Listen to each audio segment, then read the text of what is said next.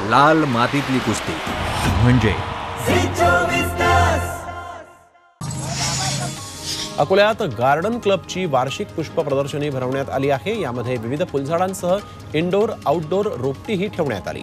या दोन दिवसीय प्रदर्शनीमध्ये बावन्न श्रेणीत एकशे छप्पन्न पुरस्कार ठेवण्यात आले.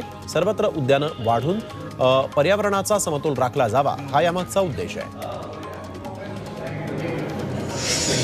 सोलापुरात माळशिरस तालुक्यातील शेतकरी ज्योतिराम आवताडे यांनी आपल्या गायीच्या प्रथम वर्षश्राद्धाचा कार्यक्रम जोरदार केला.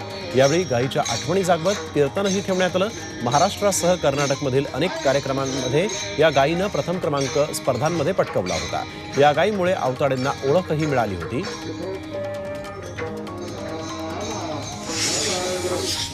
ठाण्याच्या मुरबाड तालुक्यातील प्रसिद्ध म्हसा यात्रेला सुरुवात झालेली आहे. पहिल्या दिवशी शेकडो भाविकांनी म्हसोबा आणि खामलिंगेश्वराचं दर्शन घेतलं. किमान तीन ते चार किलोमीटर परिसरात ही जत्रा भरते. यामुळे घोंगडी भांडी टोपल्या पाळणे लंबा होमिओपॅथी ही एकमेव औषध प्रणाली आहे जिचे कोणतेही साईड इफेक्ट्स तुम्हाला जाणवणार नाही नम्मा होमिओपॅथी आरोग्य संजीवनी. खेळणी अशा विविध दुकानांनी यात्रेतला हा बाजार गजबजला होता. पंढरपुरात नित्यपूजेसाठी आजपासून बुकिंगला सुरुवात झाली. सहा फेब्रुवारीपासून वारकऱ्यांनीही विठुरायाची महापूजा आता त्यांना करता येणार आहे.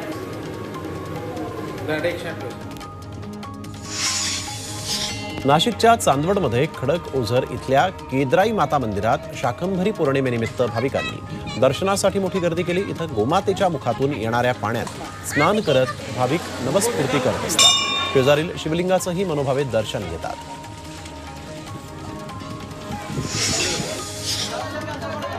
वाशिम जिल्ह्यात चिखलीत संत झोलेबाबा यात्रा महोत्सवामध्ये एकाहत्तर क्विंटलचा महाप्रसाद तयार करण्यात आला होता.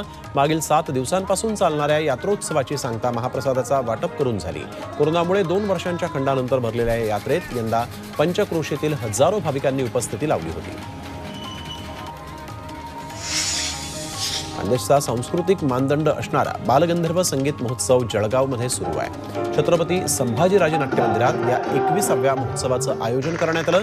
यावेळी विविध क्षेत्रातल्या कलाकारांनी अभिजात कलेचं सादरीकरण केलं. महोत्सवामध्ये सहभागी झालेल्या कलाकारांचा यावेळेस सत्कारही करण्यात आला.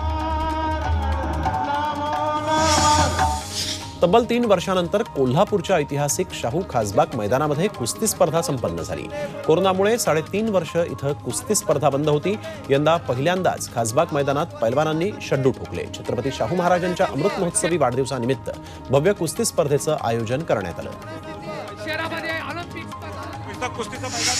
कुस्तीला गतवैभव मिळवण्यासाठी मोठ्या प्रमाणात कुस्त्यांच्या स्पर्धा भरवण्याची गरज असल्याचं संभाजीराजे छत्रपती यांनी म्हटलंय. प्रत्येक स्पर्धेत हार जीत ठरलेली आहे. त्यामुळे उत्तेजक द्रव्य घेऊन कुणीही कुस्ती करू नये असं आवाहन देखील संभाजीराजे यांनी केलं ते कोल्हापूरमध्ये बोलत होते.